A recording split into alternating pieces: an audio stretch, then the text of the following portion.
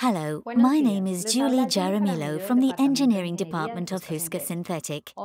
Today, it gives me great pleasure to present to you the geosynthetic application for vertical loading support elements. This application consists of a foundation system that is ideal for building embankments on soft soil when settlement should be restricted to a minimum. This type of system enables the embankment to be put into operation immediately after construction. In other words, no preloading or waiting time for consolidation is required. A typical scenario for this application is embankments for high-speed railway lines, motorways or storage tank foundations, where safety standards require foundation systems with almost zero settlement, eliminating the risk of differential settlement. The foundation system consists of two main components vertical load elements, such as rigid piles that transmit the loads to deeper and firmer strata bearing. Geosynthetic reinforcement. Its function is to act as a bridge between the vertical load elements, transferring the load from the soil located immediately above the geosynthetic reinforcement to the piles. By doing so, the vertical stresses applied to the soft soil between the piles is minimized. Reinforcement also prevents lateral sliding that can be caused by low shear resistance in the area at the toe of the embankment slope.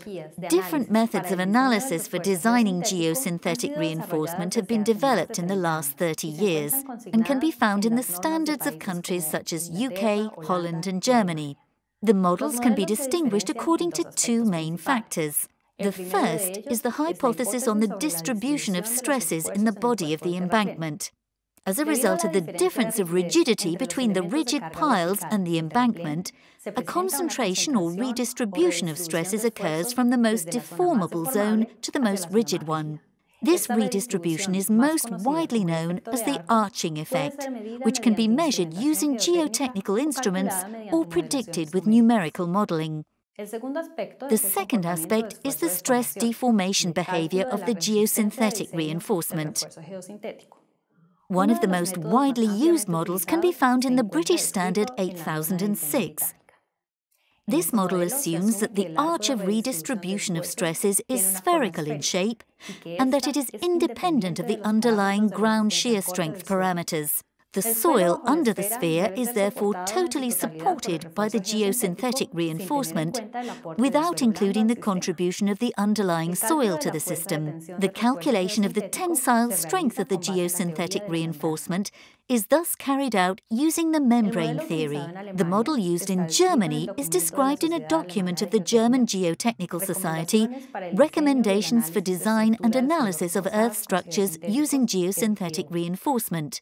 EBGEO that defines commonly accepted design and construction best practices. The German analytical model differs from the British one in the way the redistribution of stresses is defined, which consists of multiple arches, including support of soft soil, using the subgrade reaction modulus. The calculation of tensile strength of geosynthetic reinforcement is carried out in the same way as with the model used in the British standard, using the membrane theory, with the difference that in the German model, the deformations of the soil and the geosynthetic reinforcement are linked using differential equations. To simplify the solution, Chapter 9 of the EBGEO contains graphs to enable iterative analysis. A complete calculation example is also contained at the end of the chapter. This foundation method has been successfully used for road rail projects in numerous countries, including UK, Brazil and Germany, as well as in many other European countries. I hope this presentation was of interest. If you have any questions about this subject or would like more information about the solutions offered by HUESKER, please visit our website or contact us personally. Thank you very much.